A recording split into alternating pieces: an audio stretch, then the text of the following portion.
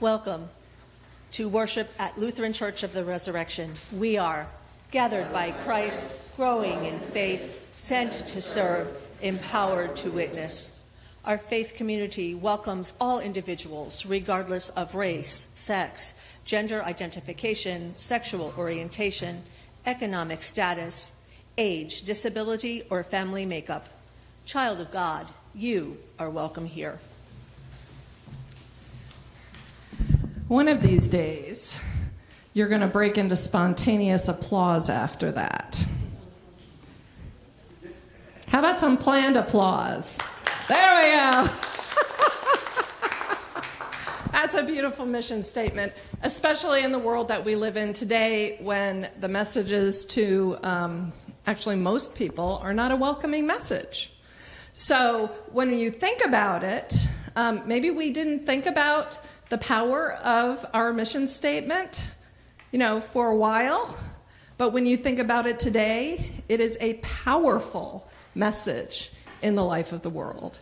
Because as you think about all of those those people and types of people and ways that people identify, um, a lot of those folks aren't welcome in our culture anymore, right? Maybe they never have been. Maybe uh, the veils of our culture's divisions are, you know, being taken away a little bit. I'm not sure what the answer to that is. I'm still studying the situation, and I'm sure the church is as well, and it probably changes rapidly. Um, but every time I hear and speak that statement with all of us together, my heart feels light because I see that there's a place in the world where people are welcome. It's a beautiful thing. No spontaneous applause? Come on. we don't have to be like totally Germanic Lutheran every moment, right? So I want to share something else funny. I don't think I ever encountered any German Lutherans until I went to seminary. I did not grow up as a German Lutheran. I did not grow up in a German Lutheran congregation. I grew up in an English Lutheran congregation, and we were we were more like Episcopalians in some ways in our polity than we were like German Lutherans. So it's really been an interesting shock to me um, to to have settled in Pennsylvania. to work almost exclusively with German Lutheran congregations because you know there are a few little differences, um, and one of those is um, we don't break out into spontaneous applause very often. So we're going to have to, to practice that. And um, I know that's a paradox because practicing something that's spontaneous, right? That's a little interesting, isn't it? Okay, so um, so good morning. It's great to see everybody here today. Um, my understanding is that there's good news from the zoning board.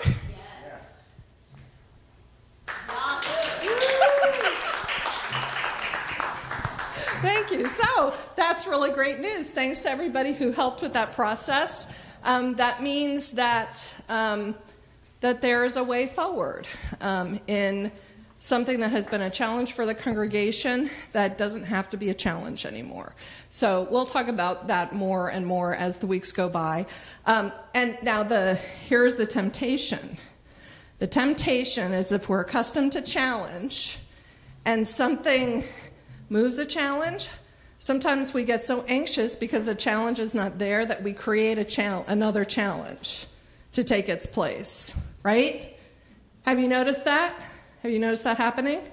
People are like, no, I've never noticed that happening.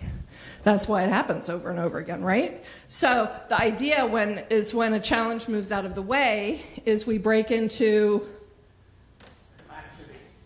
what? No, no, no, no. That's not what we want to do. We want to break into.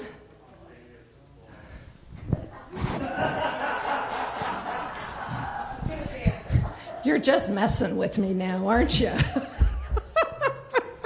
we break into spontaneous applause, which is another way of saying, Thank you, God, we're so happy and we're celebrating. And we think about, now what can we do with this space that's been created? And this is going to be the challenge the joy and the opportunity of the transition process. And as of this Sunday, we are moving like a train into the transition process.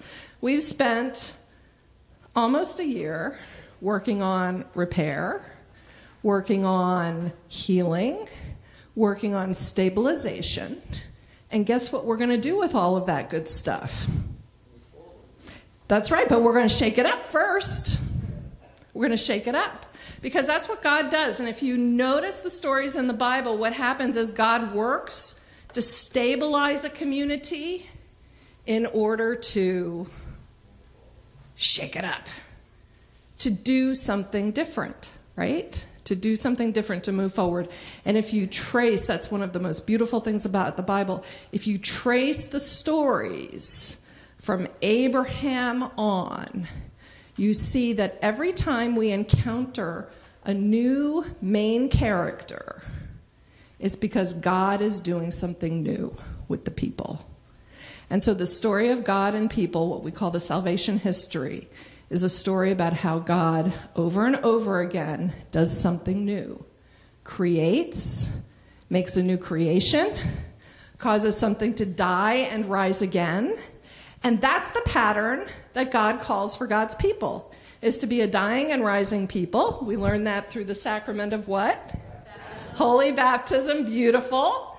Um, we could also, if we wanted to, break into spontaneous applause for holy baptism. Good. Um, because in holy baptism, God does something new with us every single day.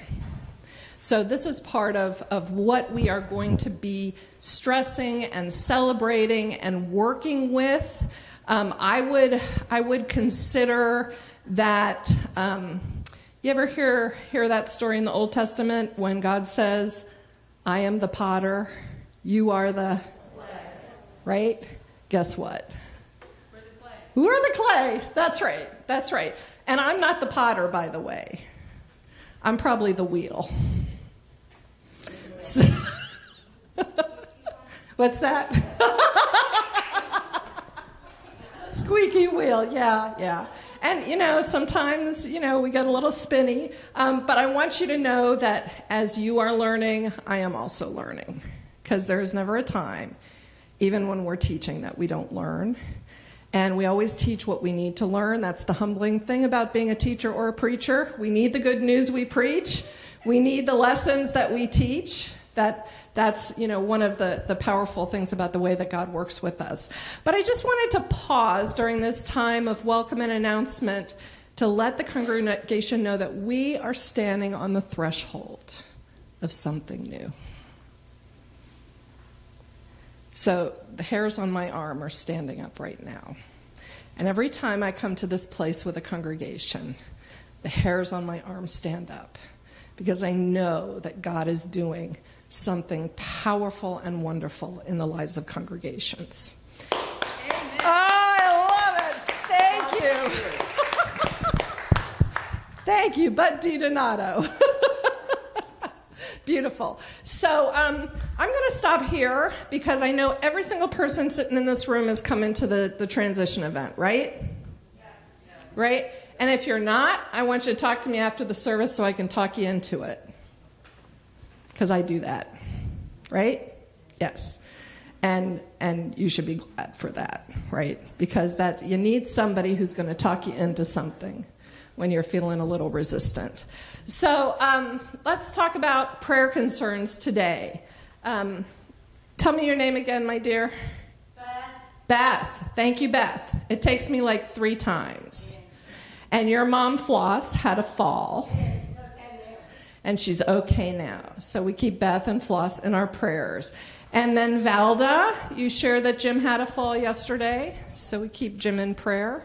Who else needs to be in prayer today? Mary?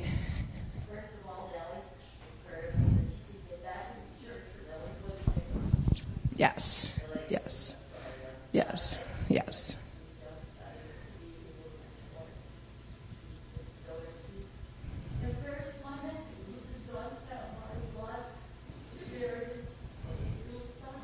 Yes.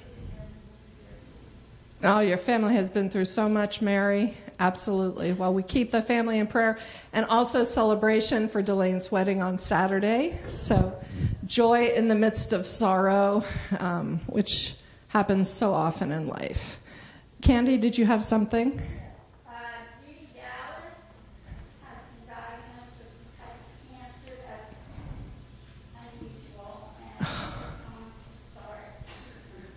Oh, I'm so sorry. Okay, we keep Judy Dallas in prayer. Who else are we praying for today?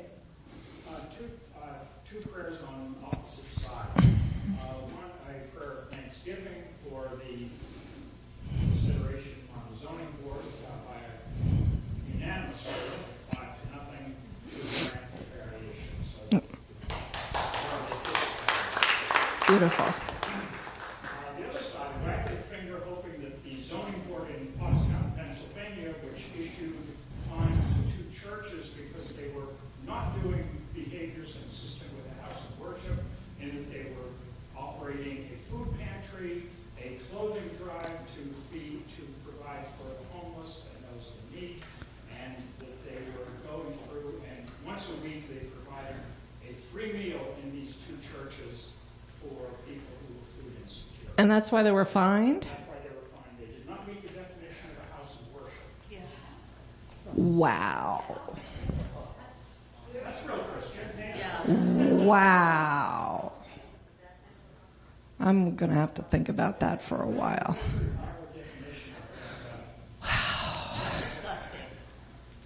Well, you know, and, and, and for a governmental authority to try to define who we are and what we do,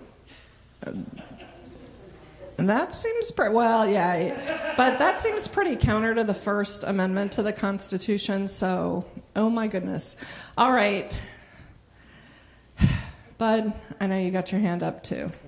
And Ruth. I'm gonna go first. Um, let's start with prayers of thanksgiving for my, um, Uncle Earl celebrating his ninety-fourth birthday after several bouts of pneumonia in the hospital. Okay. And my friend Cindy is having cervical surgery on Tuesday. It's a very, um, dangerous surgery. On her neck. on her neck. Yeah. Wow. Okay, we keep them in prayer. Others? Bud? I have good news. I Okay. Finally decided they were wrong in denying my surgery for pacemaker. And they, uh, on January, I got, I- on Monday, I got a call that, uh, they approved it. So, uh, we'll be doing that on August. Beautiful, Bud. That's great news. Great news. Others to share about today? Anybody else? Okay, yes, Kay.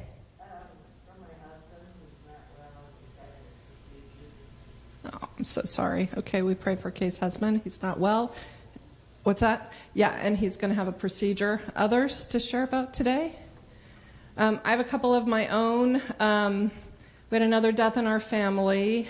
So um, this is my mother. You know, we have kind of a small family, so you know when that happens, it it feels um, like a lot.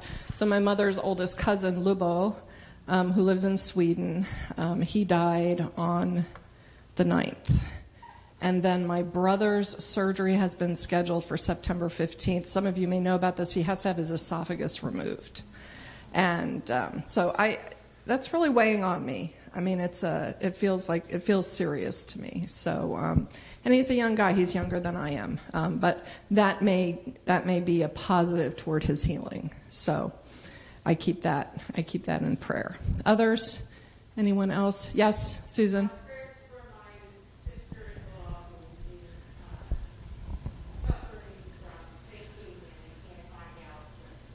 Okay. We keep your sister in law in prayer. Cindy? Okay. We keep her in prayer as well.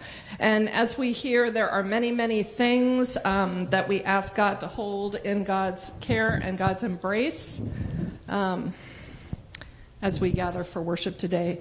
Let's rise for our order of confession and forgiveness.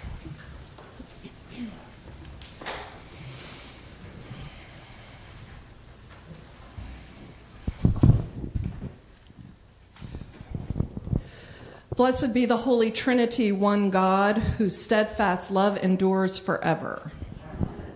Let us confess our sin in the presence of God and of one another.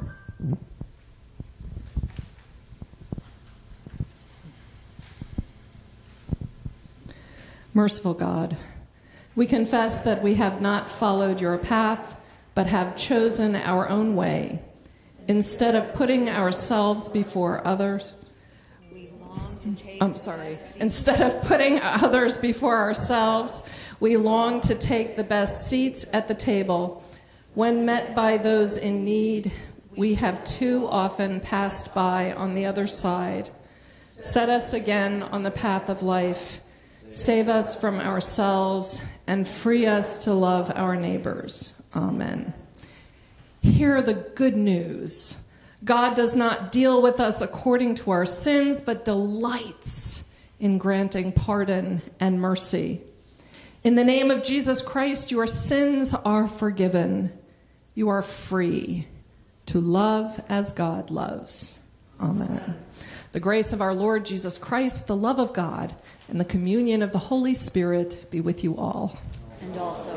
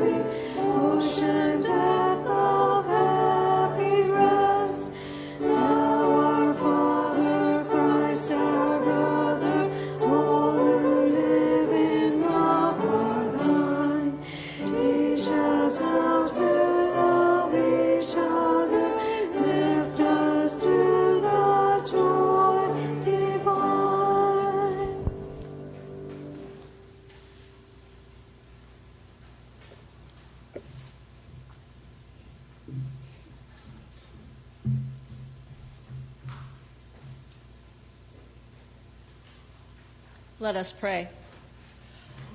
O Lord God, your mercy delights us, and the world longs for your loving care. Hear the cries of everyone in need, and turn our hearts to love our neighbors with the love of your Son, Jesus Christ, our Savior and Lord. Amen. Congregation may be seated. A reading from Deuteronomy. The Lord your God will make you abundantly prosperous in all your undertakings, in the fruit of your body, in the fruit of your livestock, and in the fruit of your soil. For the Lord will again take delight in prospering you, just as he delighted in prospering your ancestors. When you obey the Lord your God by observing his commandments and decrees that are written in this book of the law, because you turn to the Lord your God with all your heart and with your soul. Surely this commandment that I am commanding you today is not too hard for you, nor is it too far away. It is not in heaven that you should say, Who will go up to heaven for us and get for us so that we may hear it and observe it.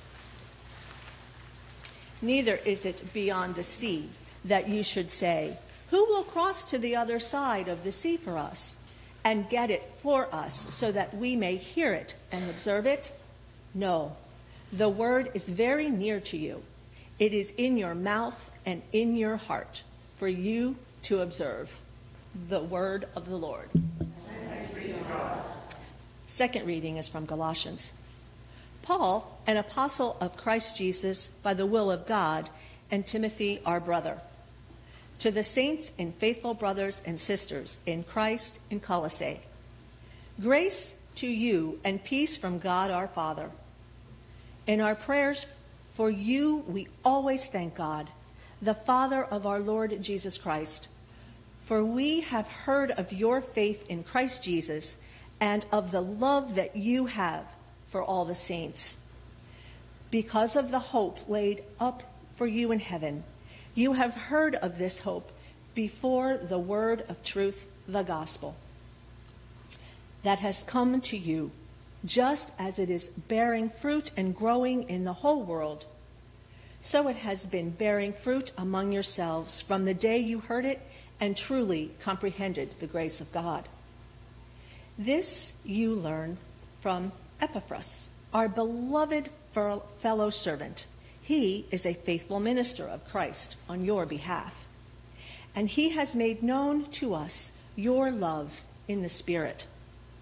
For this reason, since the day we heard it, we have not ceased praying for you and asking that you may be filled with the knowledge of God's will in all spiritual wisdom and understanding, so that we may lead lives worthy of the Lord, fully pleasing to Him, as you bear fruit in every good work and as you grow in knowledge of God. May you be with may you be made strong with all the strength that comes from his glorious power and may you be prepared to endure everything with patience while joyfully giving thanks to the Father who has enabled you to share in the inheritance of the saints in the light. He has rescued us from the power of darkness and transferred us into the kingdom of his beloved Son, in whom we have redemption, the forgiveness of sins. The word of the Lord.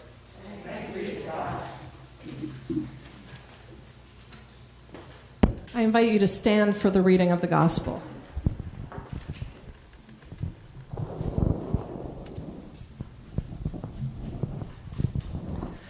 The Holy Gospel according to Luke, the 10th chapter. Just then, a lawyer stood up to test Jesus. Teacher, he said, what must I do to inherit eternal life? He said to him, What is written in the law? What do you read there? He answered, You shall love the Lord your God with all your heart, and with all your soul, and with all your strength, and with all your mind, and your neighbor as yourself. And he said to him, You have given the right answer.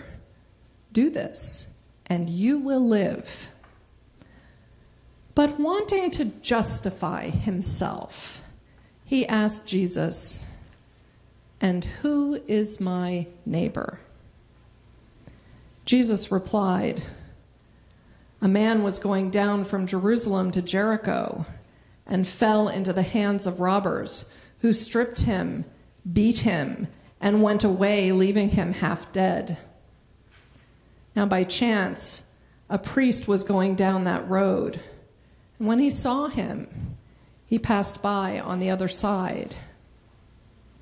So likewise, a Levite, when he came to the place and saw him, passed by on the other side. But a Samaritan, while traveling, came near him, and when he saw him, he was moved with pity. He went to him and bandaged his wounds, having poured oil and wine on them. Then he put him on his own animal and brought him to an inn and took care of him. The next day he took out two denarii and gave them to the innkeeper and said, Take care of him, And when I come back, I will repay you whatever more you spend. Which of these three do you think was a neighbor to the man who fell into the hands of the robbers? He said, The one who showed him mercy. Jesus said to him, Go and do likewise. This is the gospel of the Lord. You may be seated. I'd like to invite the children forward.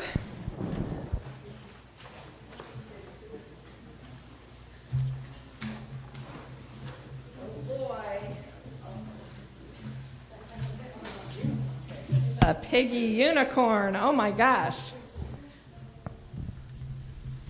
I've never seen a unicorn like that before. Where'd you get that? From Home Goods. Huh. Do you recommend Home Goods as a good place to buy stuff?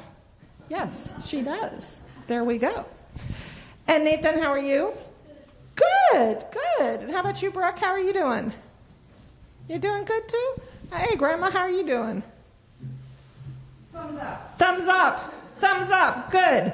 Everybody's doing well today, or pretty well, or a little bit well. And even if we're not doing so well, God is here, so guess what? God is good. All the time. All the time. God is good. Spontaneous applause. That's right. Do you like to clap? Uh oh. Uh oh. What's that all about? How come you don't like to clap? You don't know. It's okay. It's okay. You're raising her to be a good Lutheran. That's all right. We're going to learn about clapping a little later, but not today. How about you, Nathan? Do you like to clap?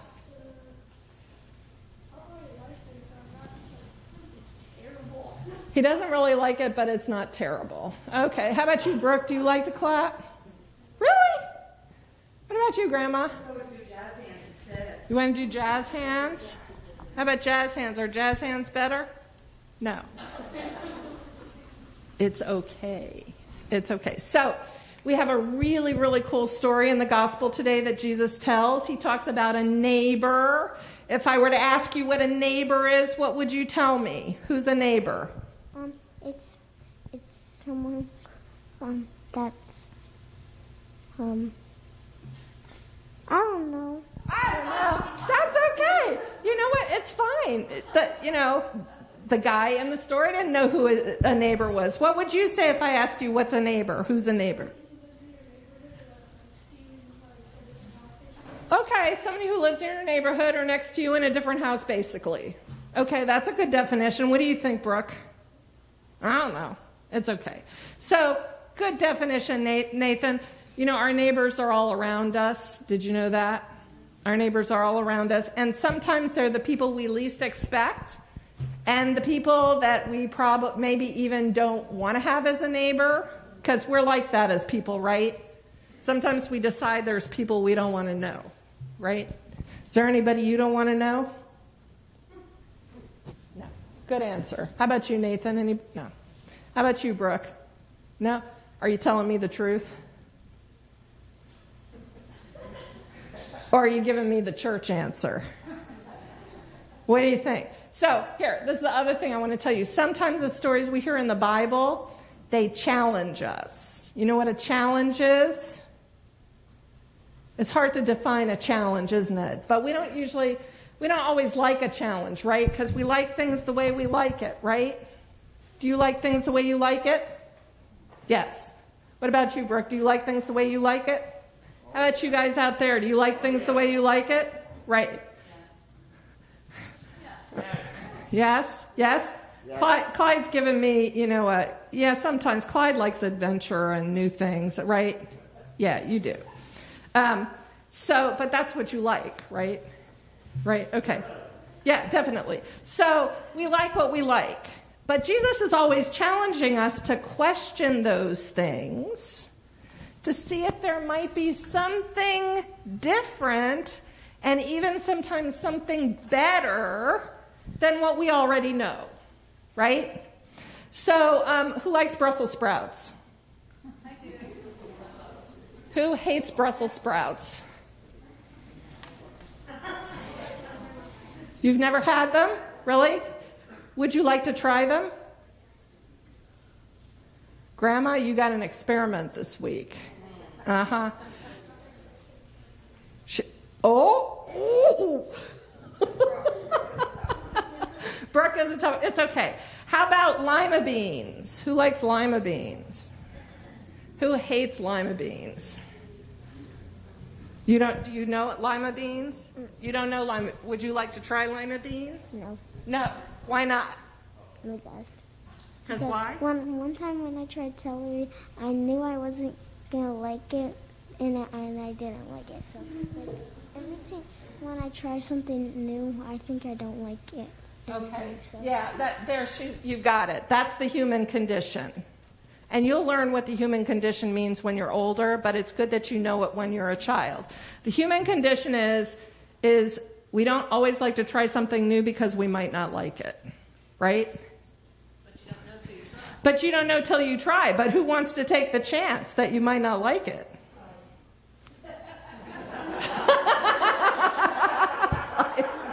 So, you know, we talked about vegetables here, right? And some of us don't like to try fruit either. I remember that. She's looking at me. Yeah, I remember. Um, but Jesus is telling us it's bigger than just those things. It's also about the people we might think we might not like or know. But you know what? They're still a child of God, right? They're still a child of God.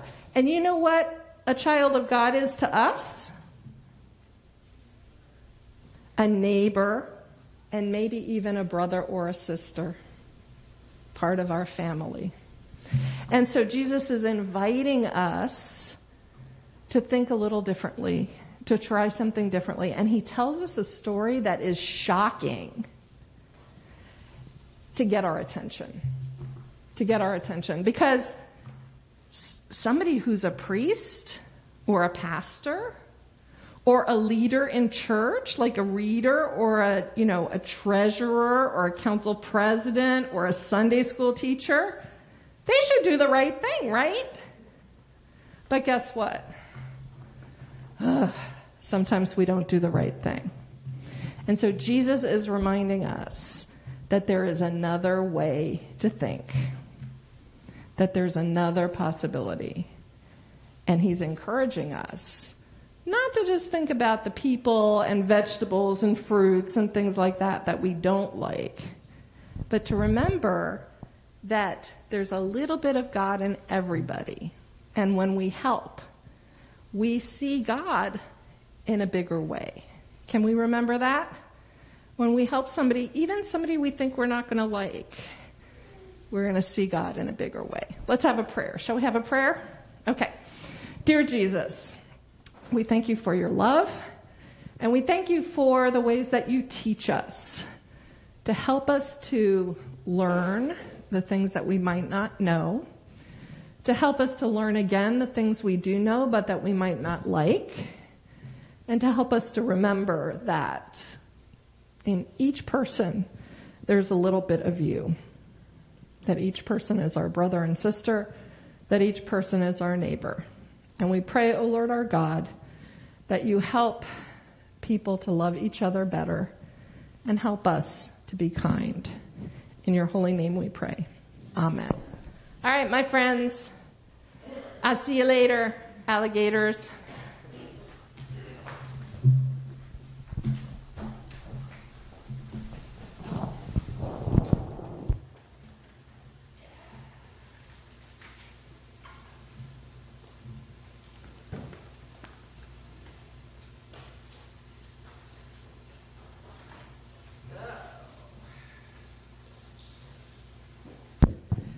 So, before we have a prayer, before the official preaching begins, um, I want to just let you know that you are already at the transition event. That our worship service is part of our transition event today. And every time we gather for a transition event, it is one unified activity that we do together from worship to moving into the next space to what we do in the next space. And everything about a transition event is intentional.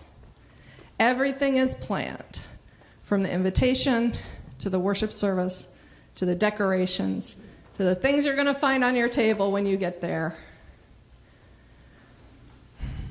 Because every little thing we do, God works with that to help shape us. God works with that to help make us a new creation. God, God works with that to help to teach us. And by understanding, I'm going to stop every now and then and say, hey, look at this. This is what is a good thing to learn from this. By looking at everything we do on the morning of a transition event as the transition event, as the time of learning, as the time of teaching, as the time of transformation as the time of growth, we understand from this that there is no separation for us between what we do in here and what we do out there, and what we do as we're moving from here to there. Which is why it's ludicrous to say that feeding the poor is not an activity of a house of worship. Because if these people knew their Bible, they would know that God says, I hate your feasts and your worship service. Feed the poor. Let justice roll down like waters. You know, it's right there. Anyway, I'm not going to go there because that's not my sermon today. But we learn a little bit of everything, and it's on my mind what you said. I mean, what you said actually happened is really on my mind. Um, and it kind of goes with our reading today as well. Um, lots to think about. Um, lots to think about. Our Old Testament reading today begins with a promise. It begins with a promise. It also begins with an ending that opens the way to a new beginning. A lot of people don't realize that the book of Deuteronomy is Moses' parting words to the people of Israel as he moves to the end of his time with them, the end of their time of active liberation, covenant creation, moving through the wilderness. Because if you remember, Moses did not cross into the promised land with the people of Israel. But God did take him to a high place so that he could see it, so that he did not die not knowing that the people would get to where God promised them they would be. It's a powerful, powerful um, teaching for all of us and experience for all of us to live again with the people of Israel. So, the, this Old Testament reading begins with an ending that creates a beginning. And Moses, what he's trying to do in the book of Deuteronomy is it's like he's getting all of these last words in. Don't forget this, don't forget this, remember this, remember this, remember this, remember this. It's kind of like what happens when, and none of it's new. Let's, let's just say that right away. None of it's new. He's, he's done this with the people all before. But it's kind of like, so I remember when my mother was dying, I wanted to make sure she knew I loved her, right? We have spent a lifetime showing each other that we love each other. But there was something about that ending point. I wanted to make sure she knew. I wanted to make sure she carried that with her into her next part of her journey, carried that love, and knew it beyond a shadow of a doubt. And this is really what Moses is doing. He is making sure or as much as he can, that the people carries as much with them of what he has sought to taught them, of what their time together has taught them and shown them about this incredible love of God. And not just about God's incredible love, but also their part in the story. And it's so interesting what we encounter here because one of the things that Moses lifts up for the people is um, their resistance. because that's one thing about us. A lot of times when God challenges us with something new, we can, we can feel that resistance coming up inside of us. And the way that Moses characterizes resistance is as a perception of distance. It's a perception of distance. You don't have to climb a high mountain, you don't have to cross an ocean. The word is very near you. The word is very near you, in you and on your heart. And one of the things that Moses also wants to leave with the people in this part of the story is that the love of God and the relationship with God is not a passive thing, it's a participatory thing. It's not passive, it doesn't happen to us. We are participants in God's love. We are participants. God's love is an active thing. It's not a passive thing.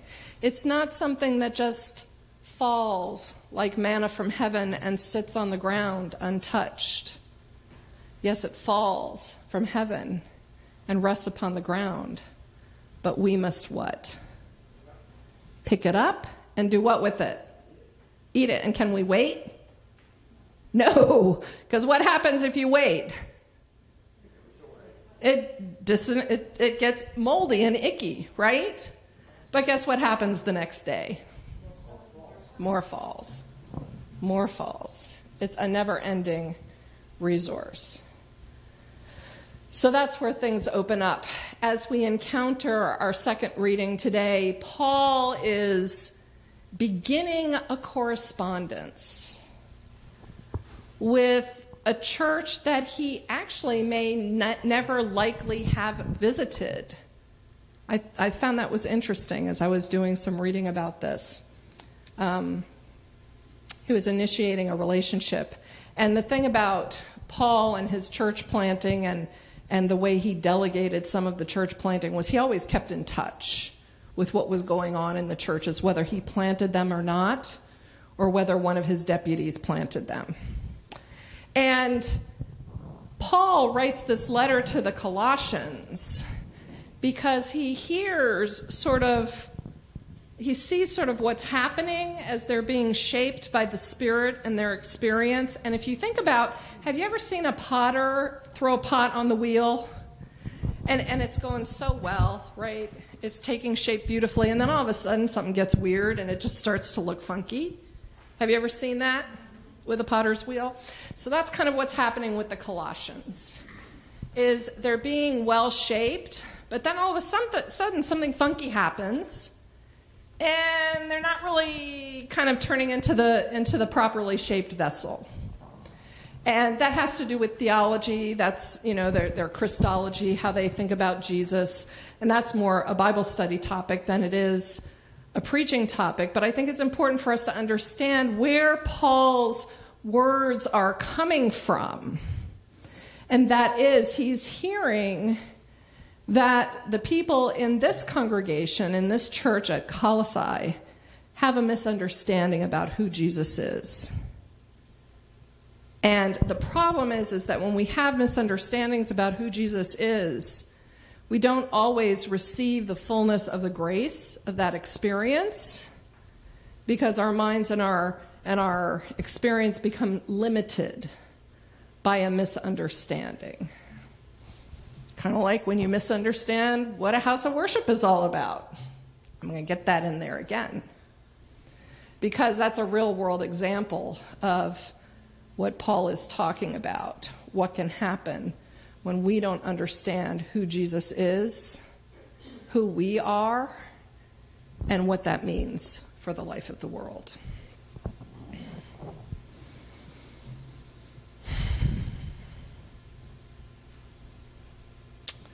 New beginnings can come only when we acknowledge endings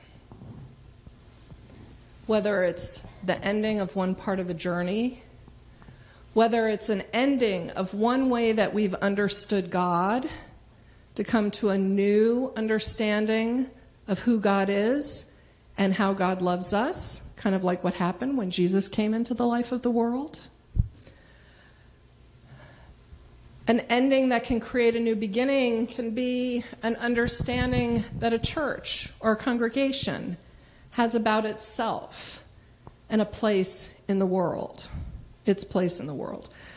For a congregation, a natural ending comes when a pastor leaves. And before a new settled pastor comes, and there is a time of what we call transition learning, growth, transformation. Are we abandoned by God in this? Are we leaderless? Do we not have a pastor? Oh, please, Lord, say, yes, we have a pastor. I can't tell you how many congregations think they don't have a pastor when they're in transition. You just have a different kind of pastor, one who um, does really active work with you and holds space for a very dynamic time of growth. One might say that Moses was a transition pastor. What do you think?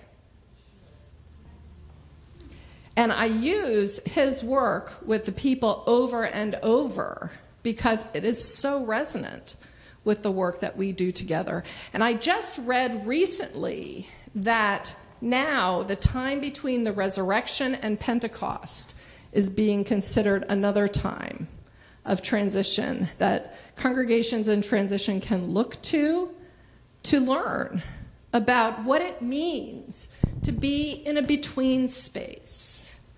And a between space is not a non space, but a between space is a not anymore and not yet space. And that is not a passive space. As a matter of, of fact, congregations are usually required to be even more dynamic in their response. The resistance is huge, though, because a lot of people want to wait and see what happens. A lot of people want to just take a break from church until the next pastor comes.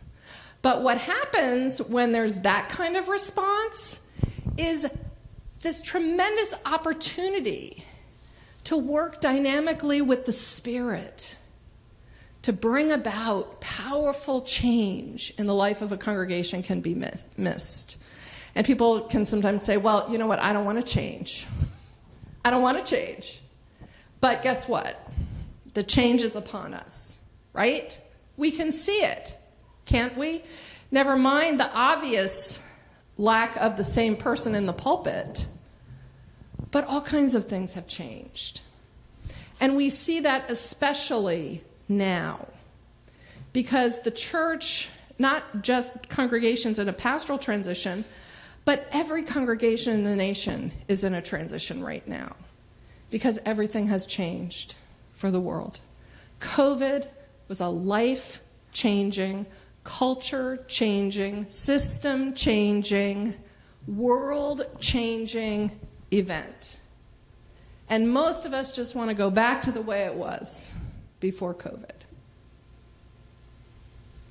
But some of us can see the opportunity. We may not see what the end result is going to be like, but we can see that God is working there. And that's the power of this moment. That's the power of this moment for every congregation on the face of the earth. And that's the power of this moment in double dose for this congregation with a pastoral transition plus the COVID transitions. Why am I talking about transition on a day when we're talking about the Good Samaritan? And you're probably wondering, is she ever going to get there? Yes. First of all, parables Parables are not allegories. Parables are stories that Jesus told to turn our lives upside down. They're designed to turn the world upside down. When you have chewed on a parable, you are a different person afterwards than you were before. Problem can be is that some of these parables are some of our favorite old stories. So we end up resting on an interpretation of a parable that we really like. And I think the parable of the Good Samaritan is probably the prime story. Maybe the lost sheep is a, is a good second, but the Good Samaritan, we think we know that's about. All right, what's the Good Samaritan about? Come on. What's it about? Helping, helping other people. What else? What, what's it about? What's that? Love. Love, absolutely. Okay. Um, we usually think about the Good Samaritan, this parable, as a call to attend to those in need, a call to be merciful, a call to help our neighbor, and give that neighbor whatever that neighbor needs. But who's our neighbor?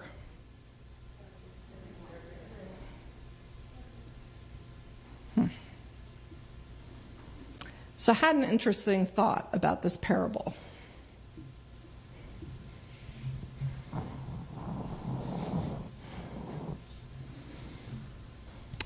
What if Jesus told this story to help us to think about how we're receiving Him? This new way that God wants us to see the relationship with God. Can we step back from what we normally think about this parable and think about something new? The reason I got to thinking about this was, first of all, the question who is my neighbor?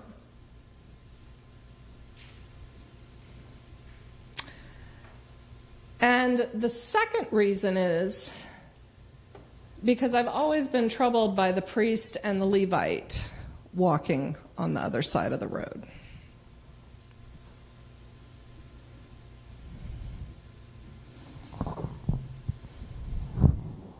They were caught up in their rules and restrictions of what was expected of them and what their duties were, Based on what?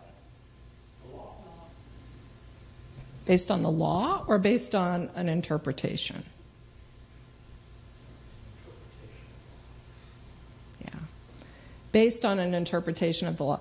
Jesus was always challenging how people interpreted, right? Because you are to love the Lord your God with all your what? Strength and your so if you were actually following the law and you loved your neighbor as yourself wouldn't you help the guy on the road Yes. except there was an interpretation that said that serving on the altar with ritual purity was important. So, this was the interpretation, right? Jesus came into the life of the world to show us something new about how we've been relating to God and each other. Who were the people who were receiving that word wholeheartedly? Was it the Pharisees and the Levites? No. Disciples? Was it most of the Jewish people? It was it was the Gentiles, right? I mean, look at how rapidly the church grew beyond Jerusalem. Those were the people, the people that that the so let's not get into any kind of I'm, I'm not trying to be anti-Semitic here. So let me just, you know, let's let's just get this out of the way right away. Um, you have people who have a relationship and experience with God. That relationship and experience becomes codified. It becomes filled with tradition, right? Tradition. our way of looking at things, our understanding of what God has told us is the right way to live, the right things to do, and the right way to do the right way. And this is really the problem. It's not doing the right thing, it's doing the right thing in the right way. Do you follow me here? I know it sounds really kind of crazy and confusing, but I think this is really important. And I think this is really important for us because if we think about God's revelation in the life of the world as someone who's been beaten, stripped, and left by the side of the road and passed by by the people who are supposed to know and love God best. Best. Then that gives us a new way to interact with this material. And I'm not saying we throw out the old understandings. But I think God is always peeling away at the layers of our understandings to give us new ways to understand something in a new time so we can live more dynamically in relationship with God and our neighbor. What if God and this, this relationship with God is also our neighbor? What if the ways that we interact with this God who loves us so dearly, our traditions, our ways of being, our ways of understanding. What if that also was a neighbor? Could God be inviting us into a new relationship with our relationship with God? Might that not turn our worlds upside down and if we come to understand that our interpretation is of, of how we relate to God and each other is something that God wants us to examine again and again and again, to minister to again and again and again, to heal and to bring back into full health and vitality. Might that be something that Jesus is eagerly inviting us into. I think about this because of what's before us today. What's before us today? This is our heritage event today. We are going to be looking at the things that have shaped us as a congregation, the things that have made us who we are today. We are going to be looking at the ways that we have interpreted our life together over years and what that has brought us to. And I wonder might there be an invitation for us today to pick up our old life, our poor, broken old life, up off the road? To give it some comfort and care and nourishment and healing and to see what vibrant, good health and vitality the life of our congregation might move into because we have taken that care with it.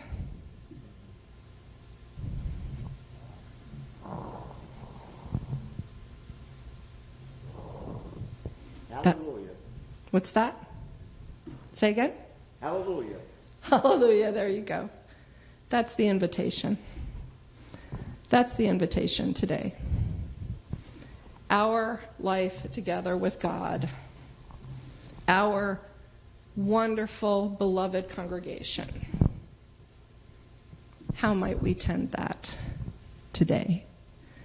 Provide it care, nourishment, and healing so that it might be able to step into vibrant new life.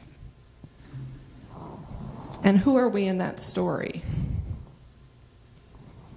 Are we the ones who are going to hold so tightly to tradition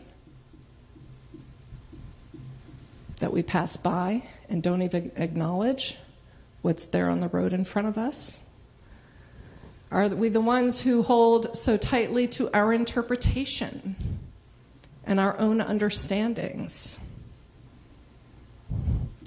Or can we look upon our congregation with the new eyes, the fresh eyes of a newcomer and a stranger? in order to see something we may not have seen before and to bring the healing, nourishment, and care that will bring that into new vitality and new life.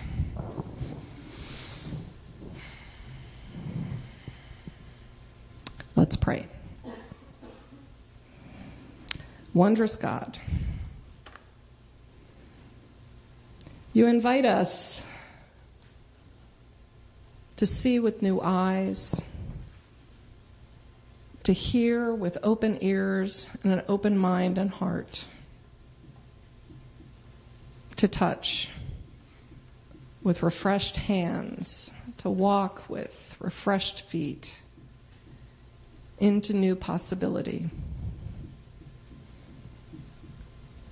You peel away the layers of our resistance and the distance that stands between us and each other, the distance that possibly stands between us and vitality.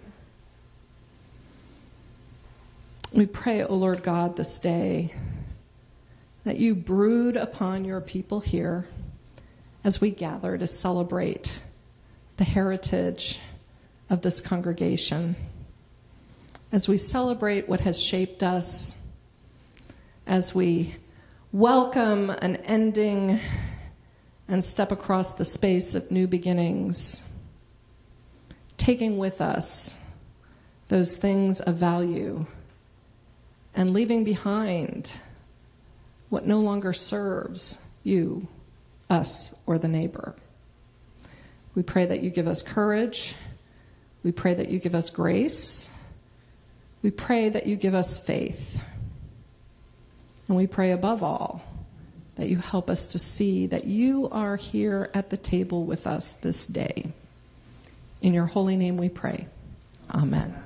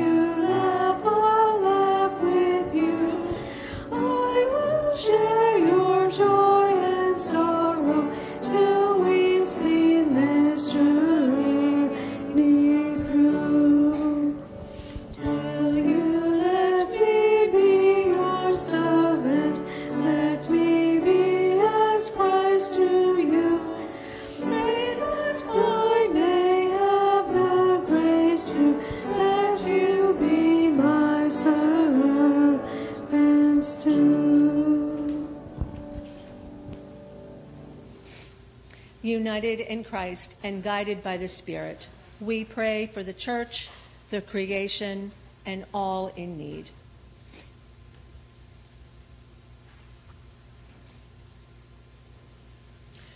Good and gracious God, we have placed your word of love in the heart of your church.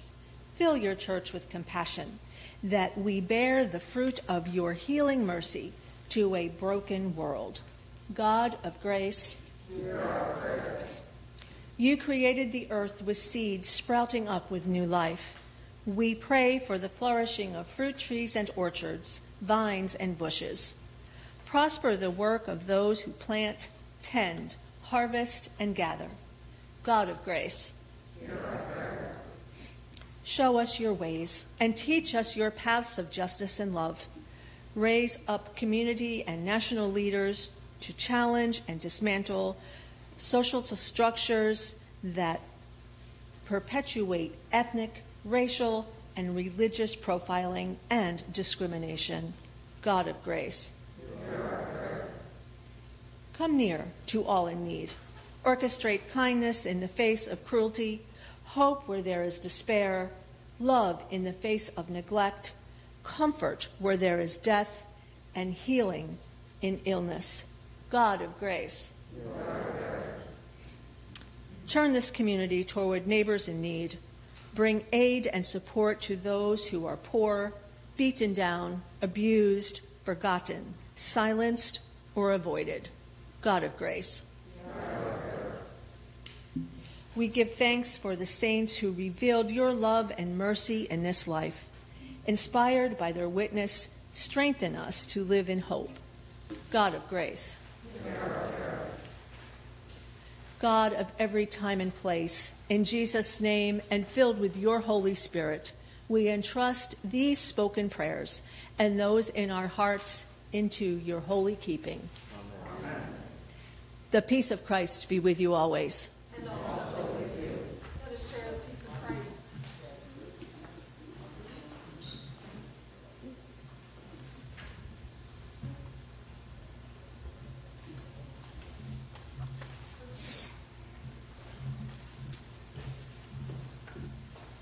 At this time in the service, we normally collect the offering. Due to safety protocols to meet the current public health crisis, we are collecting the offering in a box near the entrance to the sanctuary, or through checks mailed to the church, or on the online giving platform tithe.ly. We thank you for your continuing faithfulness in giving and take time here and now to lift up God's goodness and all God's good gifts. Let us pray. God of abundance, you have set before us a plentiful harvest. As we feast on your goodness, strengthen us to labor in your field and equip us to bear fruit for the good of all. In the name of Jesus, amen.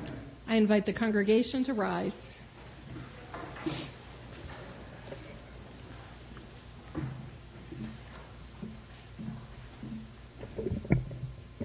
The Lord be with you. Lift up your hearts. Let us give thanks to the Lord our God.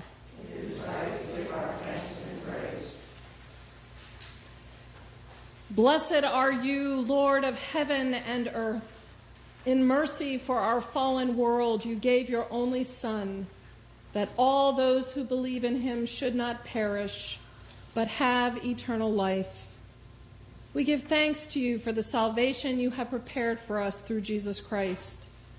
Send now your Holy Spirit into our hearts, that we may receive our Lord with a living faith as he comes to us in his holy supper.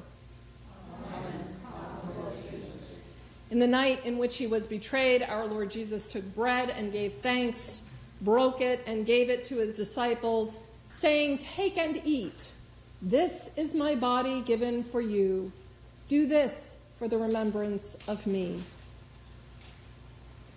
Again, after supper, he took the cup and gave thanks and gave it for all to drink, saying, This cup is the new covenant in my blood, shed for you and for all people for the forgiveness of sin.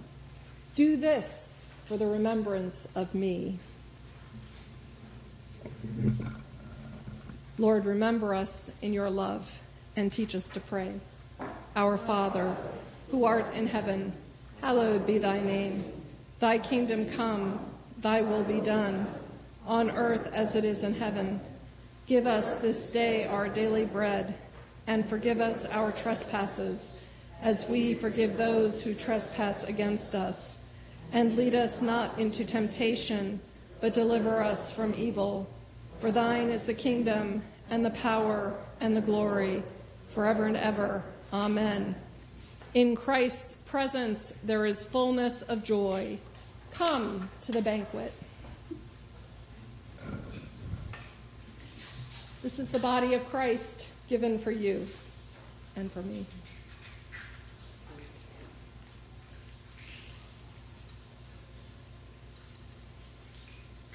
And this is the blood of Christ shed for you and for me.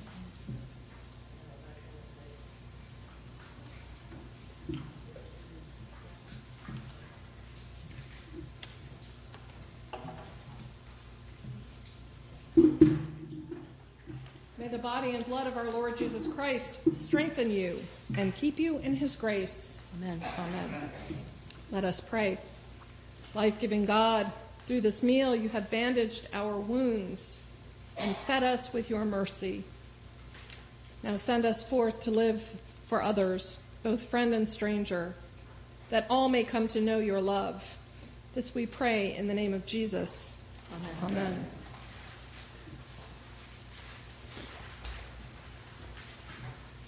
The God of peace, Father, Son, and Holy Spirit, bless you, comfort you, and show you the path of life this day and always.